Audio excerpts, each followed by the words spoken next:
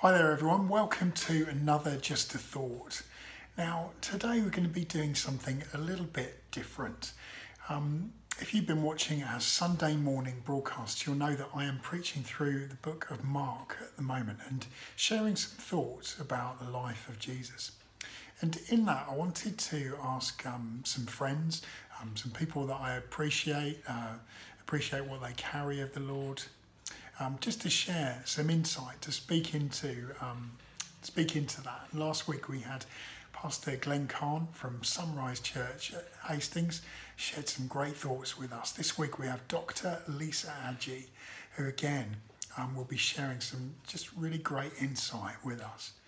And I also caught up this week with my friend Pastor Boden Dollie of Celebration Church here in Maidstone, and particularly with what Boden shared, I thought it would be really great um, to use that interview and the conversation that we had to form the basis of our Just a Thought today. Boden shares some really great um, thoughts on Jesus' sacrificial compassion.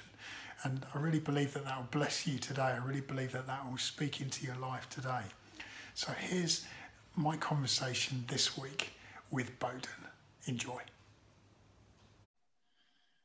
Right, well, it's really great to be joined today by my friend Boden. How you doing, Boden? Doing great, Leon. Thanks for having me. Excellent. Oh, you're welcome. Thank you. Um, I wondered if you could just introduce yourself, uh, just tell us a little bit about yourself. Sure. So, um, my name is Boden. Um, I am the pastor of Celebration Church. Um, we're a church plant. Um, we've been in Maidstone uh, a couple of years now. Um, we're part of a kind of international ministry of churches um, based out of uh, Harare, Zimbabwe. So I'm originally from Zimbabwe. Um, I've been in the UK uh, over 17 years now. Um, my wife is also from Zimbabwe, Jackie, uh, but we met in the UK. Um, we have three kids um, Judah, Micah, and Aria, all under four years old. Um, so that keeps us uh, young and on our toes. Um, and I said we're a church plant, so what that means is we are uh, a small group of about uh, eight families, um, kind of following what we've sensed as God's call to plant a new expression of faith. Um, and really, our heart and our approach is to create a space where people um, who are still asking the big questions, a place for them to belong even before they believe, um, and then kind of do life together as we do that. So that's kind of um, you know who I am and what we're doing. That's great. Yeah, we're cheering you on. We're just kind of around the corner from uh, you guys, you know, so um, sort of local churches together. So it's been great to be partnering with you a little bit through the Life Cafe and sort of relationally, we've been part of collective as churches together looking at how we can serve the local area. So it's been great, you know, sort of getting to know you and as a mate as well, which is great. I really appreciate you. Um, just wanted to ask you um, a question in connection with um, some ministry that I'm bringing at the moment, going through the book of Mark and looking at the life of Jesus. And as a as a pastor, as a as a visionary, but most of all, I guess, as a, as a follower and a disciple of Christ. Um, who would you say that Jesus is to you, and how does that affect your ministry and your life in general? I, I love that question, um, and it's funny because I, I, asked the same question on our Sunday um, um, kind of conversation this past Sunday, um, and I didn't answer it myself, so I got everyone else to answer. Um, so for me, um, I would say that Jesus is my king. Um, but what does that mean? Jesus is my king. Um, and I will give you an example. Um, when I was a kid, uh, my cousins and I loved wrestling. Um, and so we basically, each of us had our favorite characters, you know, whether it was Hulk Hogan or The Undertaker, and we all had these characters that were our favorite characters. Um, and so you, we, you know, we kind of embodied everything about these characters, you know.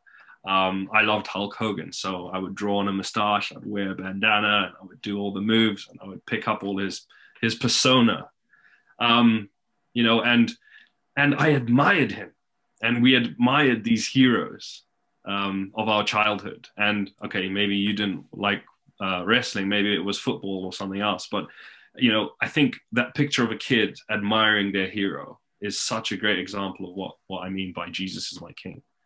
Um, and so I look at Jesus and I see this hero, this person that I admire, this person that I just I admire so much that I want to embody. I want to be like him. I want to sound like him. I want to live like him. Um, and I can't help but looking to him and reaching out to him. Um, and so, I mean, it's such a, a, nice and lovely concept, but I mean, for me, it's it, it's it runs far deeper than that, because what does Jesus' kingship ultimately mean? You know, um, and so you know, when I think about it, um, you know, and I think of okay, if he's my king, then we're talking about you know the kingdom of God, and we're talking about where wherever Jesus went, him carrying the kingdom with him. And so, if he's my king and I'm admiring him and emulating him, then you know I should be doing the same. I, I want to do the same. Um, and then you've got this idea of of dominion. So where Jesus went, the kingdom was there. The kingdom was present. You know, and um, you know, you mentioned Mark, and and you know, when when you told me about this topic, uh, the first thing that came to mind was this moment where he feeds the five thousand, and I think it's such a amazing picture of this kingship of Christ and that kingdom principle that embodies his kingship, which is love, you know, and love manifested as this sacrificial compassion. Not just compassion, not compassion like the world knows it, which is, you know, oh, we feel bad about this situation and I wish we could yeah. do more to help them. That's worldly compassion. But mm-hmm. what we see in Christ is this sacrificial compassion, you know, and and so this the story as we as we know it you know jesus is with the disciples and he says well we've not even been able to eat. Let's go away somewhere. Let's let's move on from where we where we are now. Let's go somewhere a bit more quiet get some time to ourselves. So there was a clear need. You know jesus identified that you know probably he was tired the, you know his disciples were tired. He was like let's let's go and get some rest. And of course the people caught on that you know Jesus was going to this new location, and by the time they got there, they were already at the location. And so he starts. He has compassion for them, and he says, "Look, they're like sheep without a shepherd." And you already see this picture of sacrificial compassion. You know, there was this need. Jesus needed rest, and they needed to sit down and, and get away from the crowds. But he moved. He was moved by compassion. And then, I mean, we know what happens next you know the people are hungry. Uh, the disciples say well can't you send them away now? I mean we came here to eat. Uh, we're feeling quite hungry too and we don't have enough for everyone. And then jesus says why don't you feed them?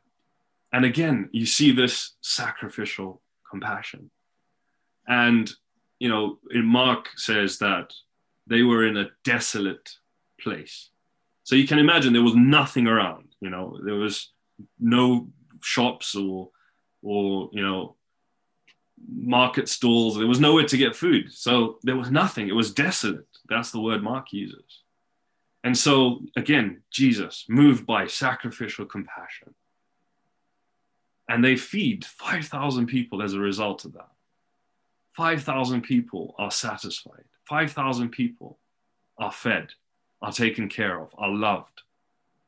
You know and it says at the end of the of the passage it says and they were satisfied. Yeah. So this place of desolation becomes a place of satisfaction. This place of desolation suddenly becomes this place of abundance. This place of nothingness becomes a place of peace and of fulfillment.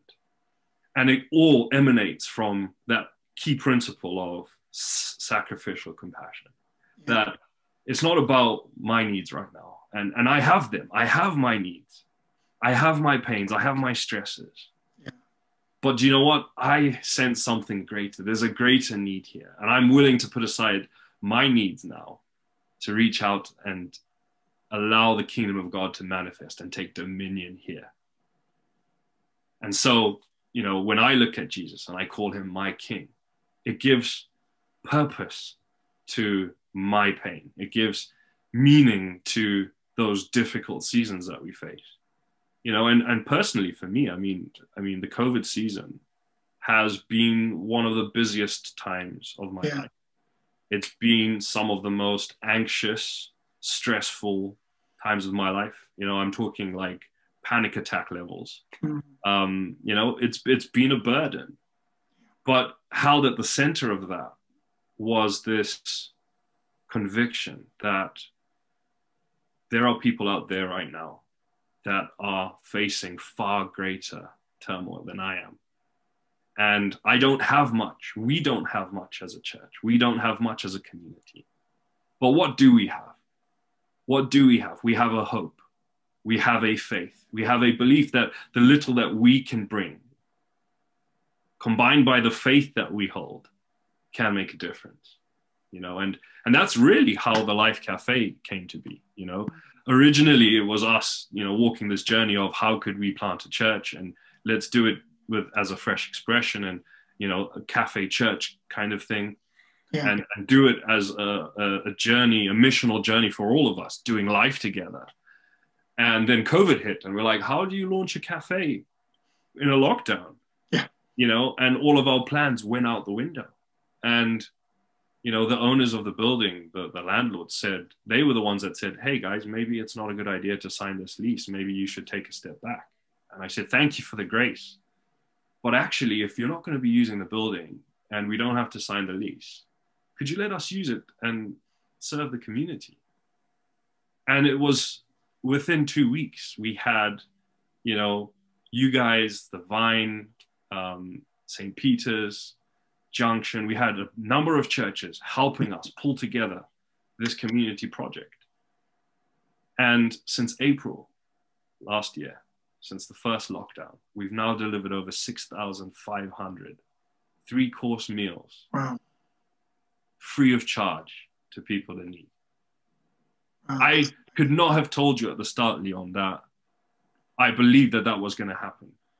I could not tell you that I knew that we were convinced that we had this plan and this plan was going to work and you know we had all the pieces. We didn't.